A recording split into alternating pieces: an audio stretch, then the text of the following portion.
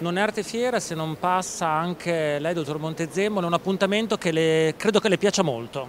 Mi fa piacere nel, nel vedere che dopo un periodo di appannamento, diciamo così, eh, quest'anno vedo una nuova energia, ma soprattutto vedo finalmente una selezione. Io sono per la qualità più per la quantità e questo mi sembra che stia avvenendo e quindi sono soddisfatto perché lo ripeto, la, la, sento una cosa molto vicina, vengo sempre volentieri. Volevo solo sapere che cosa le piace di, di questo momento artistico del mondo, cosa, cosa guarda, che cosa la incuriosisce. Guardi, io sono prima di tutto un collezionista e quindi essendo un collezionista ho passione in diverse direzioni.